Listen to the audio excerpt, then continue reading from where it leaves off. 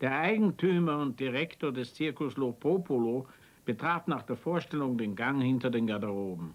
Hier erwartete ihn ein Teil der Truppe. Es galt der Kündigung, Verlängerung oder Änderung abgelaufener Verträge.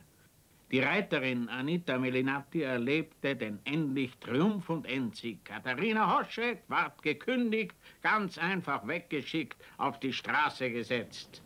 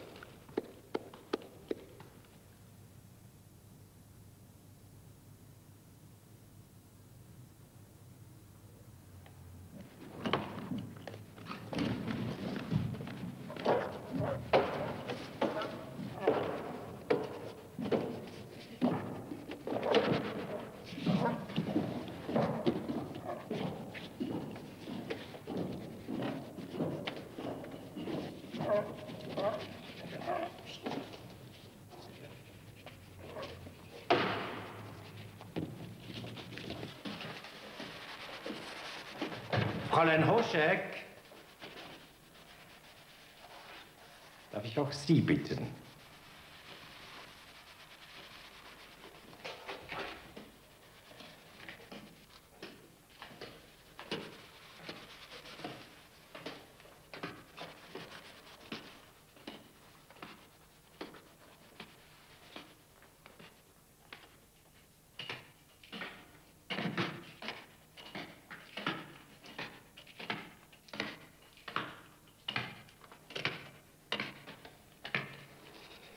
Fräulein Hoschek, den Umständen gehorchend werden sich unsere Wege leider trennen müssen. Haben Sie bitte Verständnis. Mein Zirkusunternehmen ist momentan großen Schwierigkeiten ausgesetzt. Fräulein Hoschek, betrachten Sie diese Kündigung als eine vorübergehende.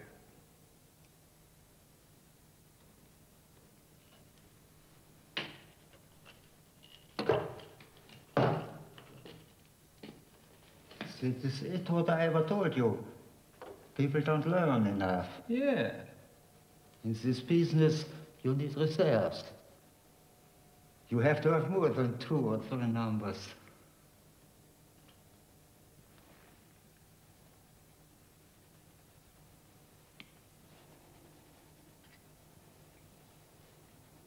Es ist zu sagen, dass hier kein Geltungskampf in Bezug auf die Manege ausgetragen wurde. Vielmehr handelte es sich um die Behauptung eines anderen Platzes, nämlich eines solchen an der Seite des Direktors. Das Schicksal schlug fest drauf auf die Hoschek, die ihn doch nur aus der Ferne geliebt hatte und dafür umso inniger. Zu ihrem Unglück aber wurde sie von ihm bemerkt und eine für sie unvergessliche Viertelstunde brach ihr das Genick, als Anita dahinter kam. Kein Mittel ward von dieser gescheut, auch die Erpressung nicht.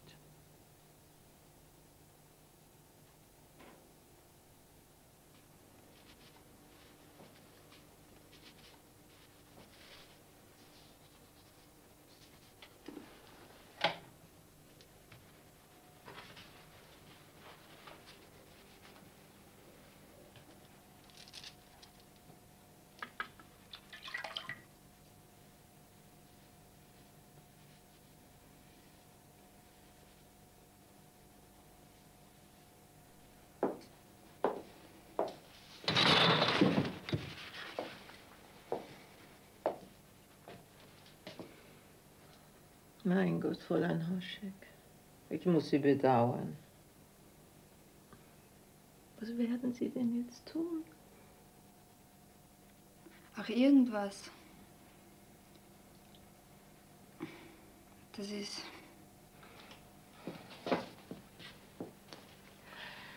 Aber das wird jetzt schwer sein. Nein, nein, Frau Anita.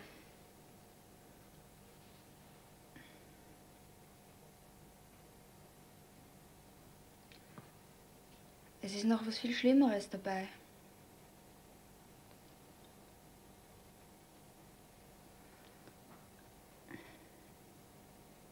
Nein, wie kann auch eine Dame wie Sie sich für ein armes Mädel interessieren?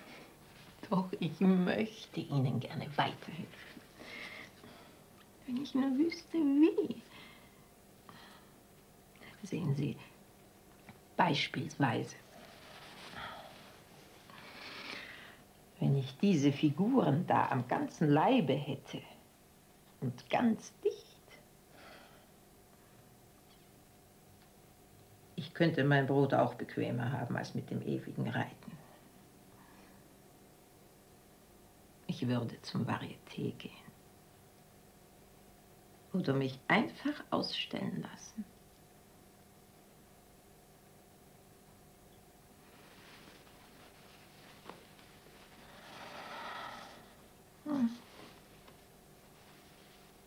Jetzt habe ich meine Verträge, muss schon weitermachen.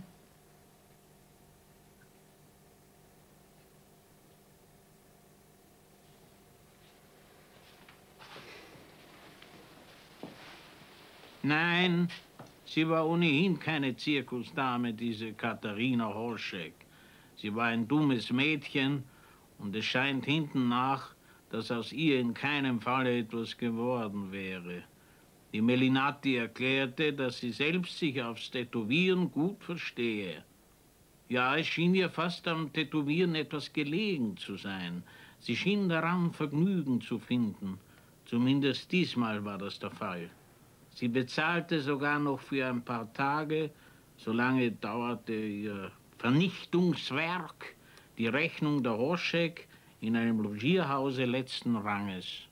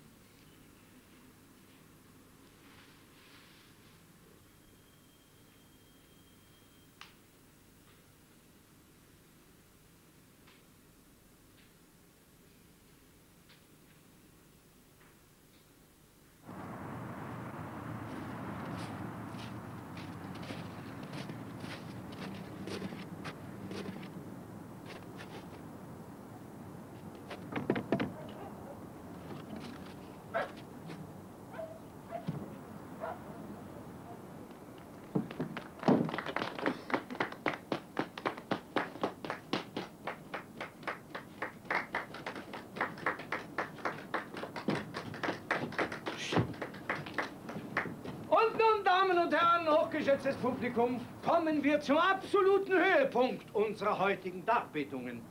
Julia Bastrani, die lebende Bildergalerie in ihrem Tableau Kunst und Leben. Sind vereint. Bitte.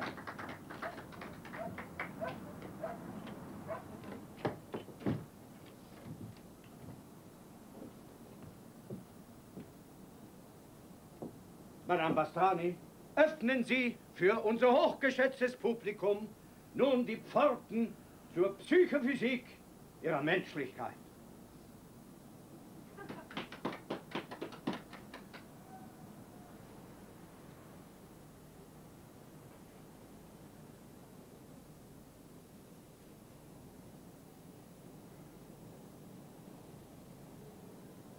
Hier links, sehen Sie, meine Herrschaften, Kaiser Wilhelm II., den Zweiten. Und hier den Zaren von Russland. Hier rechts sehen Sie Kaiser Franz Josef von Österreich. Wenn Sie sich jetzt bitte erheben, Madame. Und hier hinten erkennt man ganz deutlich das Bildnis eines bedeutenden Dichters. Setzen Sie nach hin.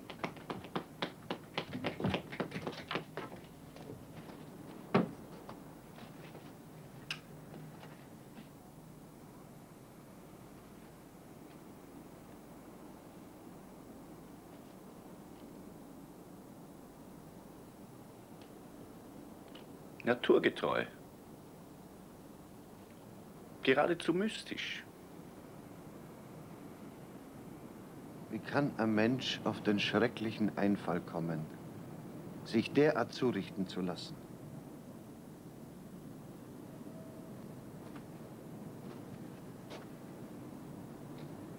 Eine Schande.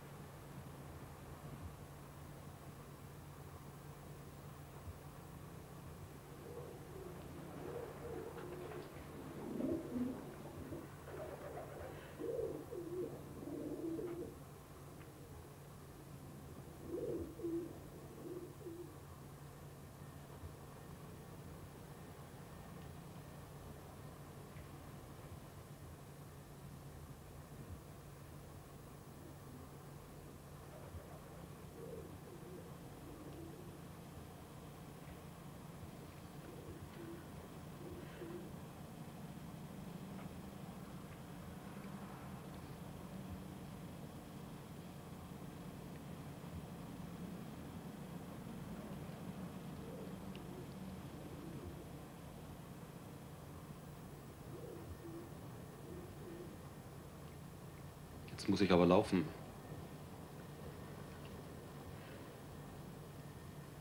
Aber ich möchte Sie schon wiedersehen. Wollen Sie? Sie trafen einander wieder. Das Jahr stieg mit Wärme, der Frühling trat offen in die Straßen mit Lichtprunk. Katharina musste bald die Pelzkrause um den knappen Ausschnitt des Kleides weglassen. Vor dem fünften oder sechsten Zusammentreffen mit ihm fühlte sie bei geringem Warten am vereinbarten Orte Spannung und Unruhe. Ja, sie fühlte sich wie ein zu enges Gefäß mit gärendem Inhalt, nicht weit vom Zerspringen.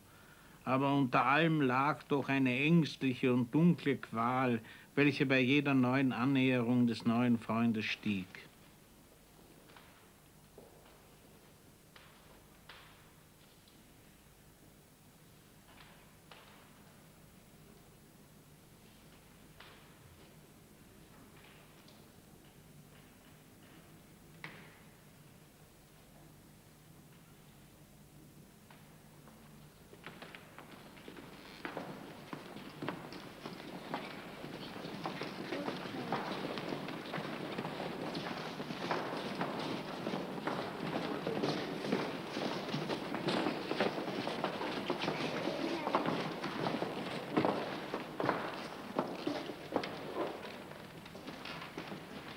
Auf zu den Wassertieren!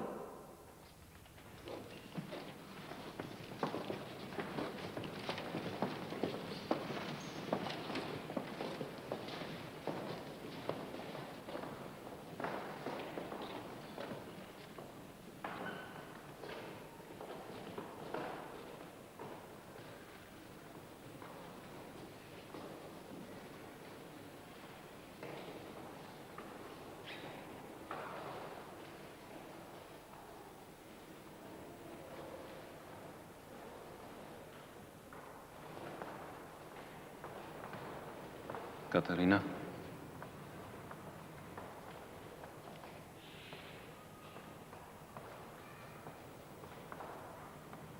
Wenn du wüsstest,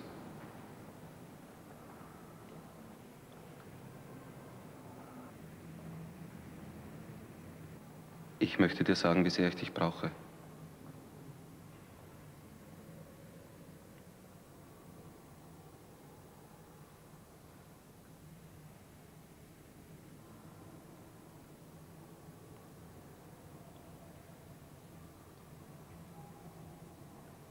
Wir könnten es so schön haben, Katharina.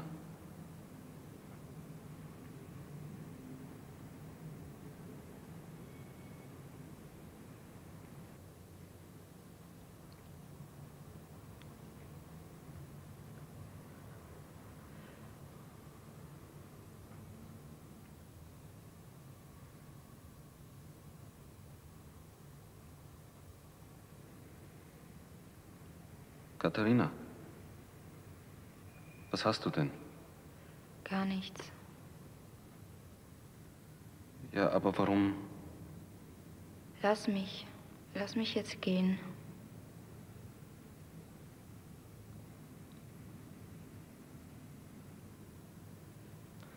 Und morgen?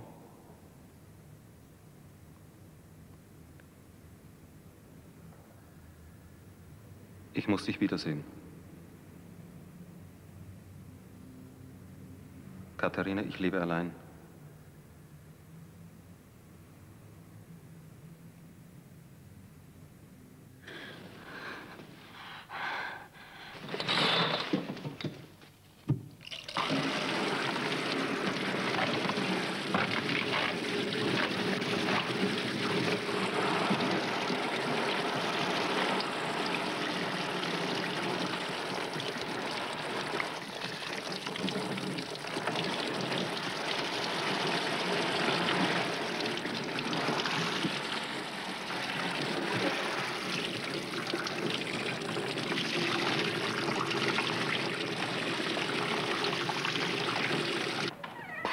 Wie alles herankommt, so kam auch dies.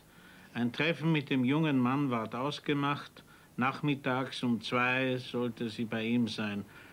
Noch lag eine Wegstrecke von genügender Länge vor ihr, so dass sie diesem Gehen vorläufig sich hingeben konnte, darin Richtung und Platz fand. Jetzt fühlte sie ihre geschändete Haut wie ein Nesselhemd, ins Fleisch gewachsen, dem entrinnen keine Möglichkeit mehr gebend. Plötzlich aber fiel ihr die gelegentliche Äußerung eines Arztes ein, es sei nicht möglich, die Tätowierungen zu entfernen, wenn diese über den ganzen Leib sich erstreckten. Schon die Tilgung der Figuren auf kleineren Flächen sei äußerst schmerzhaft und lasse die Haut in verschandeltem Zustand zurück. Den ganzen Leib aber von den Bildern zu befreien, die sei ausgeschlossen. Und jetzt war auch das Bild der Melinati da. Schon stieg es herauf und wollte sich durchaus nicht verscheuchen lassen.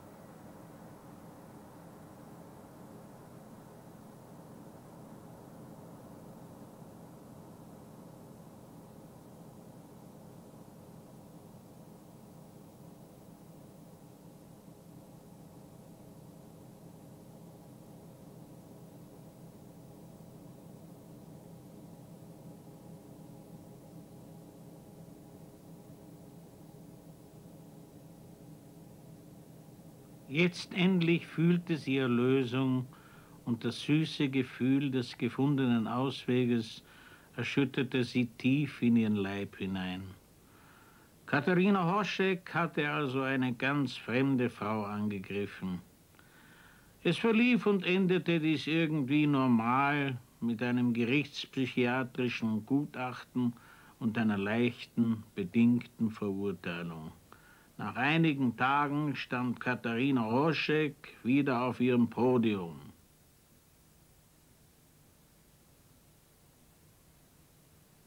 Die mittleren Jahre meines Lebens verbrachte ich als Inspektor eines Brandschadenversicherungsinstituts, vielfach im Außendienst, wodurch ich eine große Anzahl von Städtchen, Marktflecken und Dörfern kennenlernte.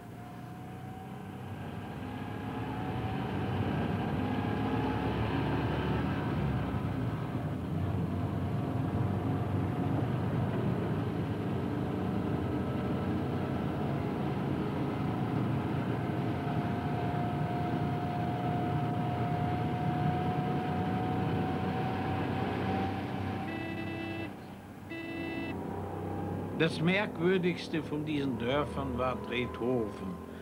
Es lag inmitten einer vollkommen ebenen Gegend, rundum nicht allzu weit entfernt von mehreren anderen Ortschaften, so dass ich mich im späteren Leben oft darüber verwunderte, wie es denn seine Besonderheiten so scharf hatte bewahren können, denen in den anderen umliegenden Orten nichts von ähnlicher Art an die Seite zu stellen war.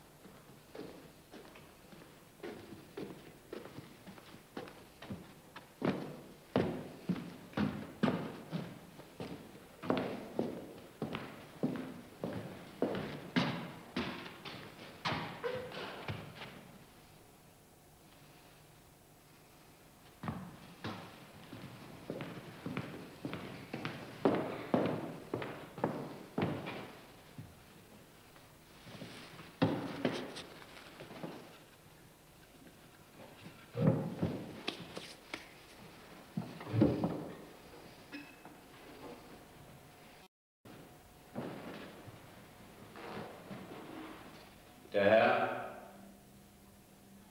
wird wohl speisen wollen.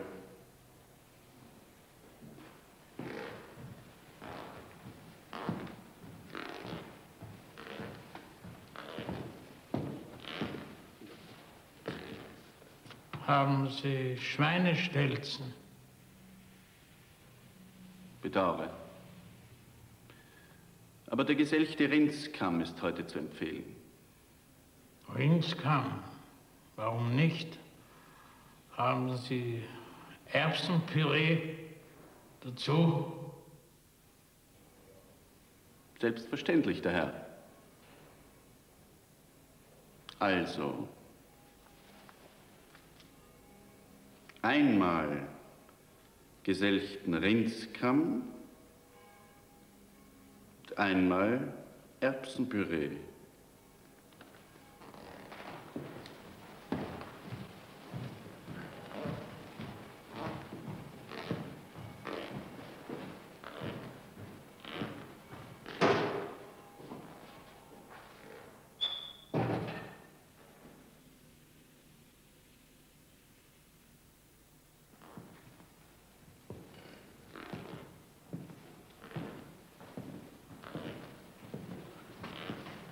Ist es gestattet, ein wenig Platz zu nehmen? Gerne.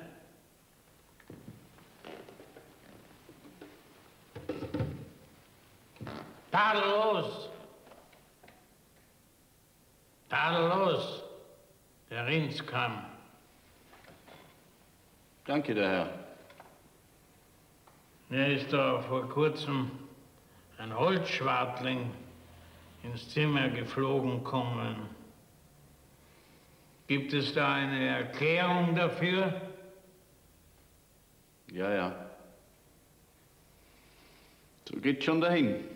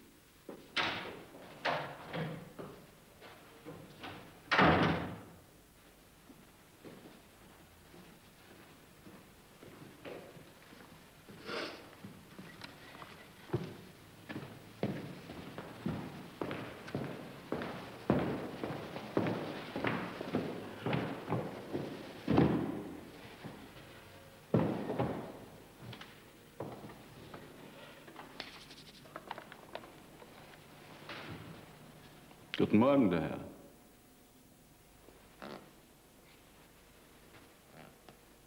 Hat der Herr gut geruht?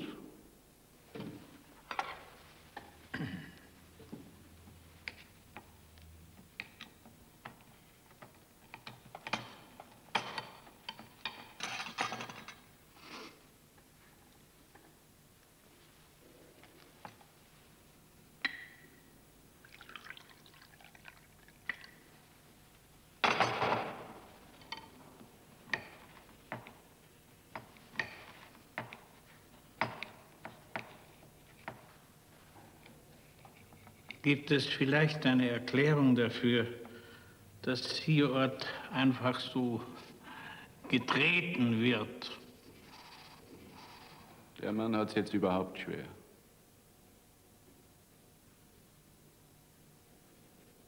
Auf den geht jetzt los.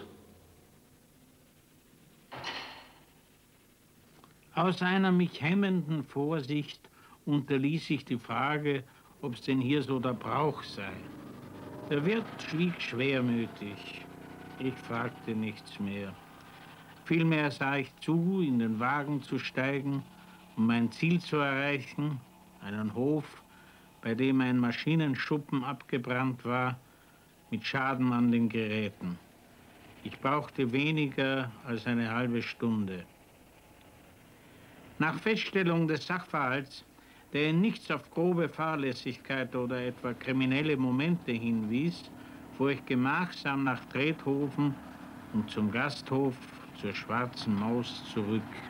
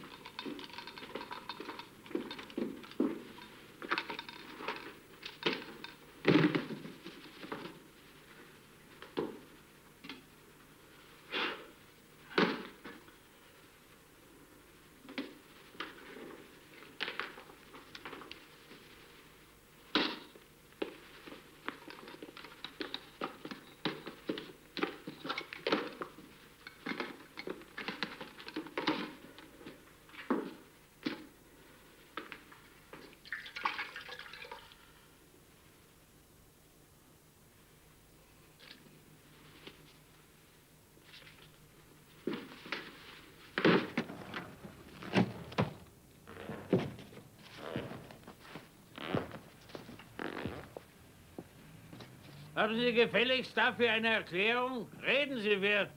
Ja, ja. So geht's dahin.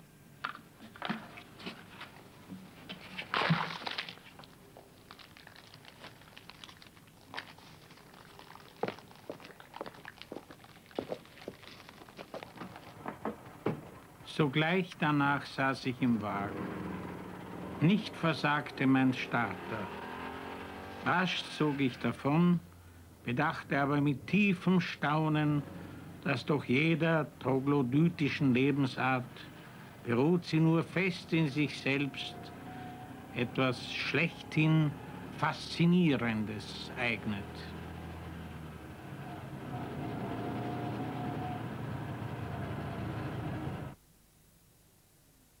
Eine Person von Porzellan sah ich neulich in einer Konditorei, die als vornehm gilt.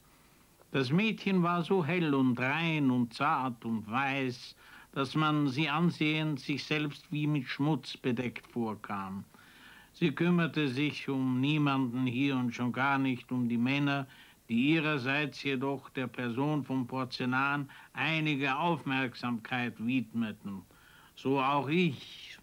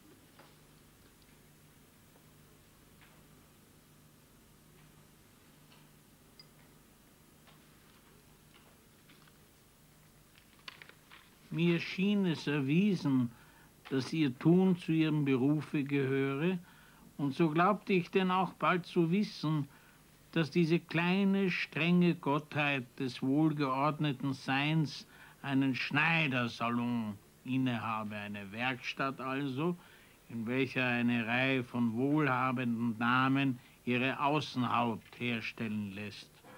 Darum saß sie jetzt, nachdem ihr Salon des Abends geschlossen worden war, hier und hielt sich auf dem Laufenden und verschaffte sich Kenntnisse und sah nach, was man etwa in Paris und anderen Modemetropolen Neues unter die Leute gebracht hatte.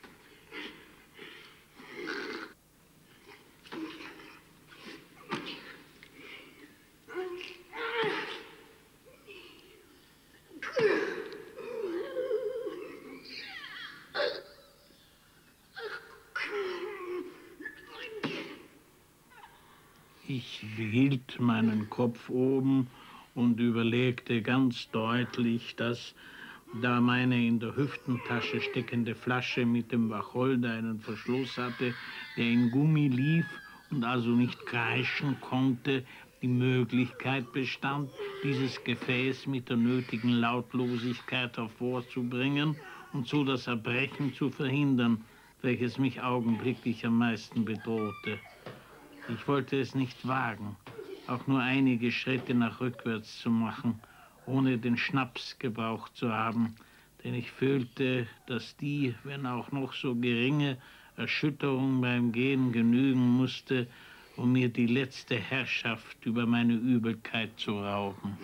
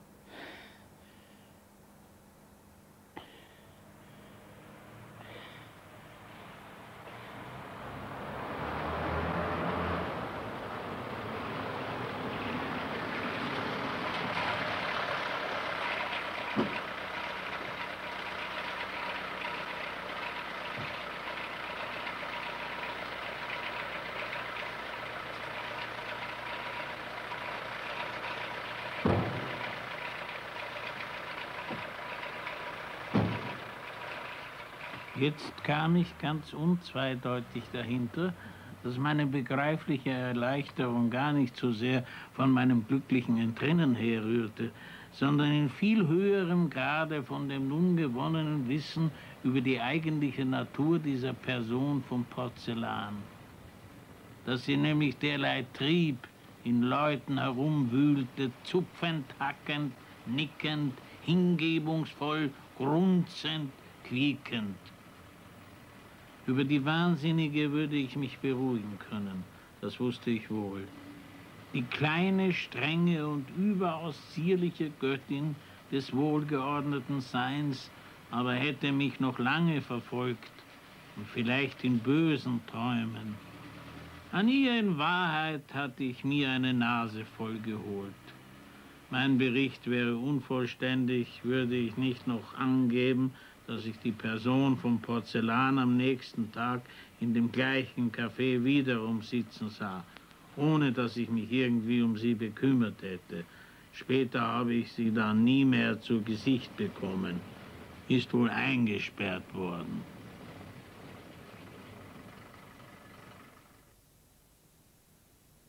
Dem Sommergotte, dem großen Pan, wird in der Stadt mit Kampfer und Naphthalin geopfert. Für die Gastwirte in den heißen Gassen ist der Sommer zu Wien nicht die beste Zeit. Der junge Wirt zur Stadt Paris und seine Frau gedachten doch, die Sache wieder einmal in Schwung zu bringen, nach einer so langen Reihe von Tagen, dass es schien, als wollte die schwüle Hitze abends noch den letzten Gast absaugen, hinunter in den grünen Prater oder hinaus zum Heurigen nach Sievering. Dem entgegenzuwirken bedurfte es freilich besonderer Mittel.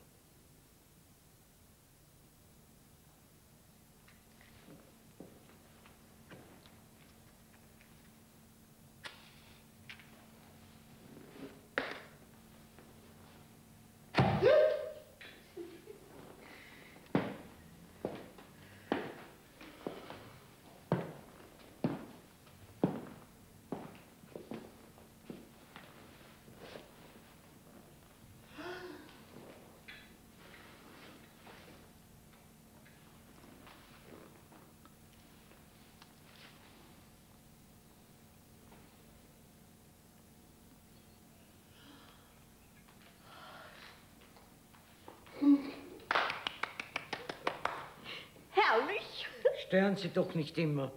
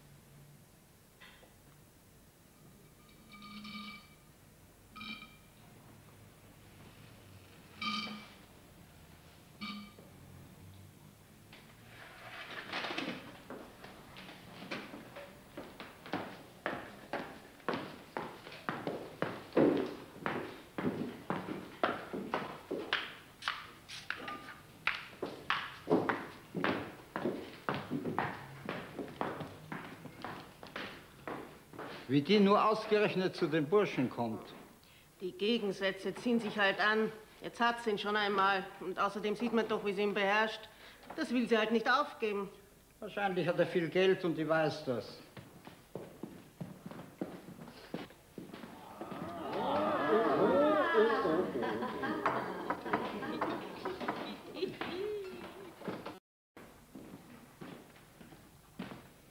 Recht hat sie.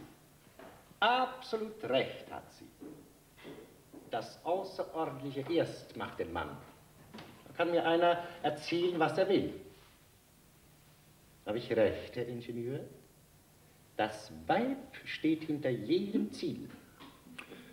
Und nichts anderes. Erlauben Sie mir, Herr Professor, da möchte ich doch einen Einwand erheben und ein Gegenargument vorbringen. Gibt's nicht, gibt's nicht. Bei mir gibt's überhaupt keine Argumente und Einwände. Und überhaupt, meine Damen, der Zweck heiligt die Mittel.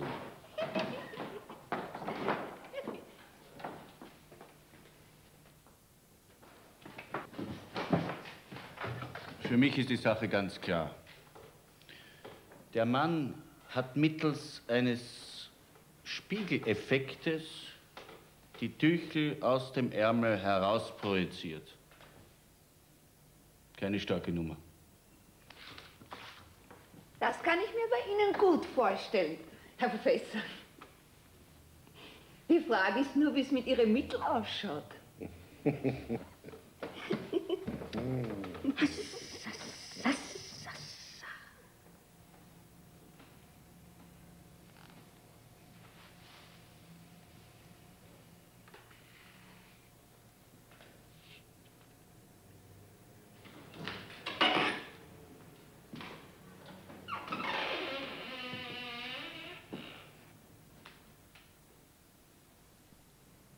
Bekommt man hier zu dieser späten Stunde wohl noch etwas zu speisen? Natürlich, der Herr. Selbstverständlich. Nur Platz nehmen, der Herr. Wenn Sie mir etwas Romadur mit Butter bringen würden? Sehr gern, der Herr. Was darf denn zu trinken sein? Sodawasser mit Apfelsaft.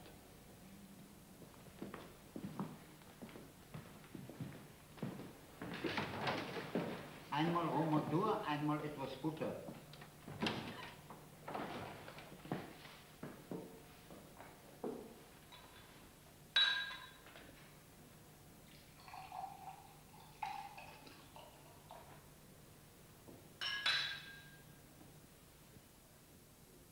Also die Nummer mit der Karotten, die war wirklich einmalig. Wie macht er das, der Korneck? Die Leute sind leicht zu unterhalten.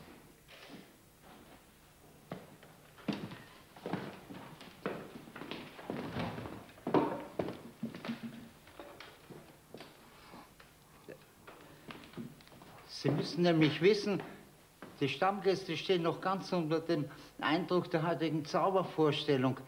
Der Fred Korneck war da. Ein riesiger Erfolg. Der Korneck, den kenne ich. Ah ja. Glinz, nehmen Sie doch am Stammtisch Platz. Die Herrschaften erzählen Ihnen bestimmt gern Näheres über seine Kunststückeln. Kommen's nur.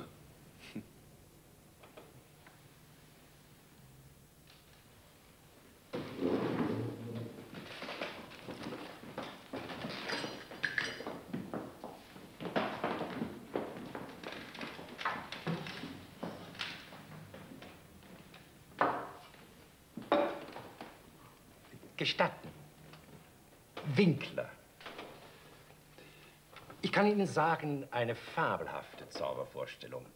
Der Korneck. Fabelhaft. Haben Sie ihn schon einmal gesehen? Ja.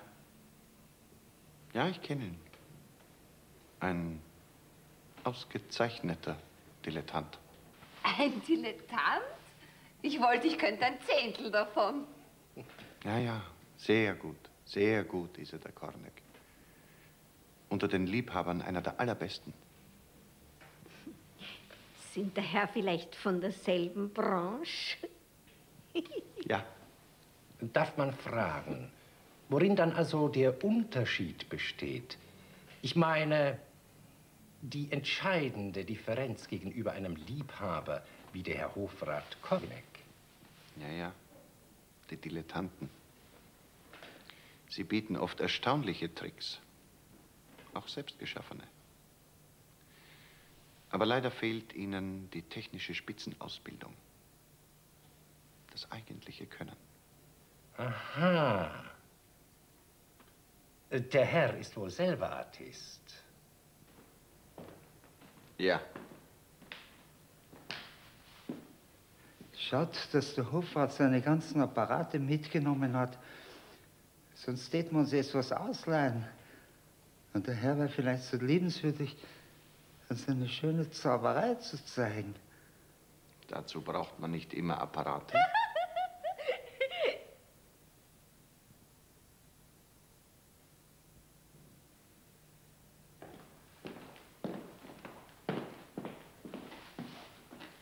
Warum sind Sie denn so spät zu uns gekommen?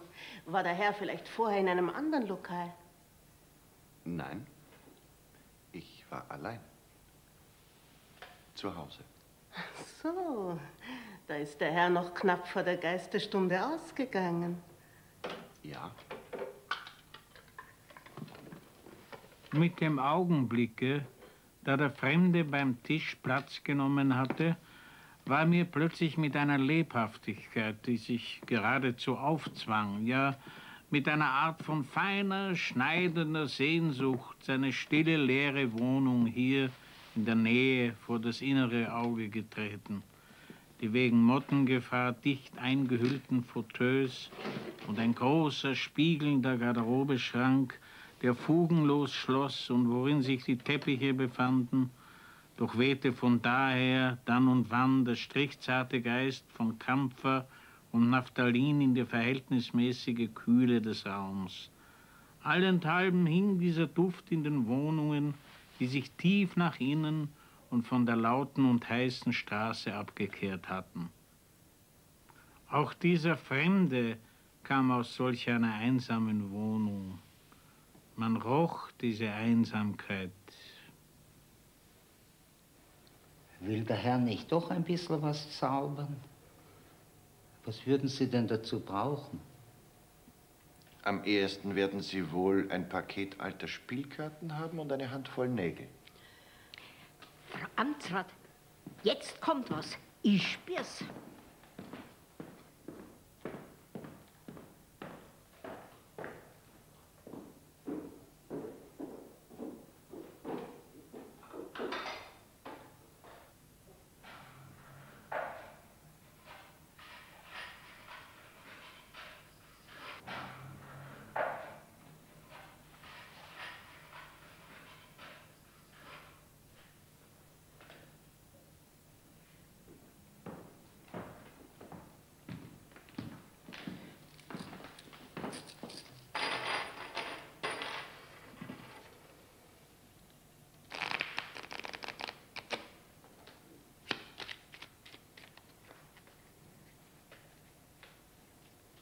Wählen Sie eine Karte, merken Sie sich diese und stecken Sie sie wieder in das Paket zurück.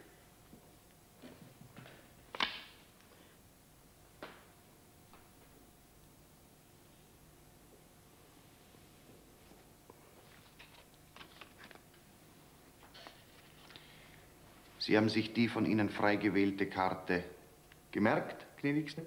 Die Frau Elli merkt sich das sicher. Außerdem, wir haben ja die Karte auch gesehen. Seien Sie doch ruhig.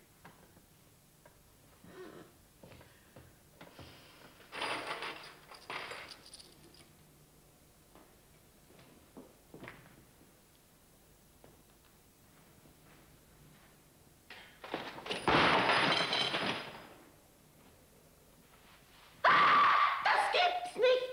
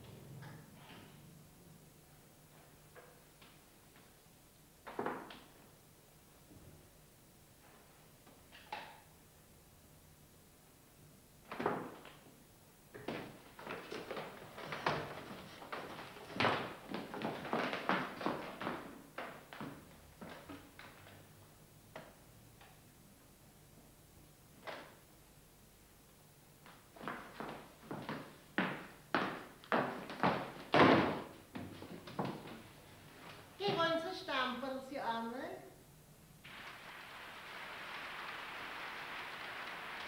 Junger Herr, die großen Künste lernt man nicht zu irgendeinem Zwecke.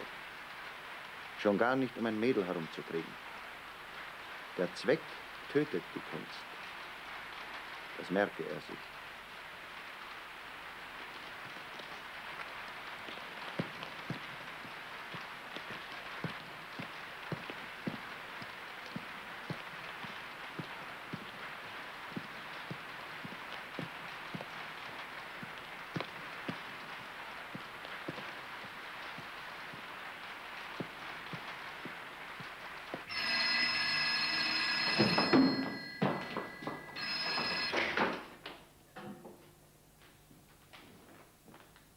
Er wird sein.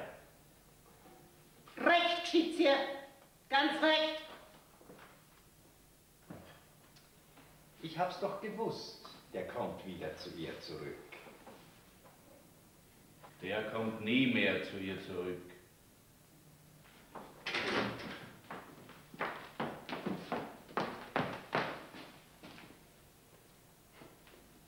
Na, was sagt man? So ein Idiot. Die Frechheit zu sagen, dass er mich nie mehr sehen will. dass er nie mehr etwas mit mir zu tun haben will.